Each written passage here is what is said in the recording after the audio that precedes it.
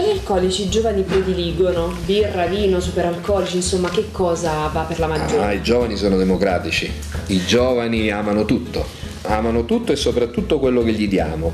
Diciamo che fino a qualche anno fa, eh, fino al 1932, quando fu inventato il codice Rocco che diceva è vietata la somministrazione ai minori di anni 16, esisteva già nel legislatore all'epoca l'idea di tutelare i minori da quello che può essere ovviamente un danno, che è un danno notevole per un minore.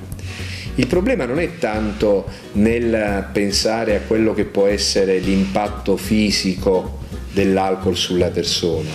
Noi pensiamo che oggi come oggi la legge vieta la vendita, ci sono voluti 70 anni per arrivare al divieto di vendita insieme a quello di somministrazione ed è una norma di tutela che è già esistente in tante altre nazioni, nel riconoscimento che il minore soprattutto è quello che va tutelato dall'impatto immediato dell'alcol.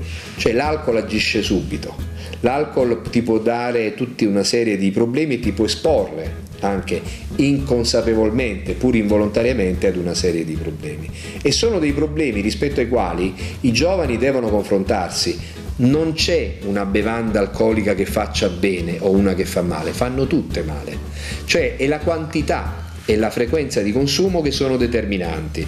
Quindi si tratti di alcopops, di birre, di brizzer, di superalcolici, di cocktail, mojito, caipirinha o vino o champagne, non cambia assolutamente niente. Sono le quantità Ripeto, il fegato è quello che metabolizza e distrugge l'alcol. Se il fegato non è in grado di metabolizzare l'alcol, qualsiasi tipo di alcol, non verrà metabolizzato e eserciterà il suo danno oppure incrementerà il rischio che potrà condurre la persona ad un danno.